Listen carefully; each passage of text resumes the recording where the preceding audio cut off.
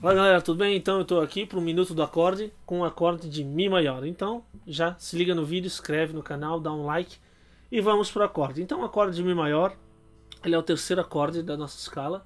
Tá? Ah, primeiro dedo na terceira corda da primeira casa, segundo dedo quinta corda da segunda casa e o terceiro dedo na quarta corda também na segunda casa. O baixo do Mi maior é a nossa sexta corda, Mi maior aqui, tá? Nosso Mizão.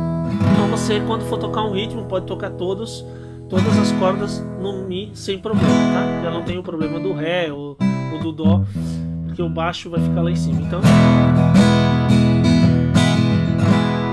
fica legal você utilizar o acorde de cima. Certo? Valeu, até o próximo.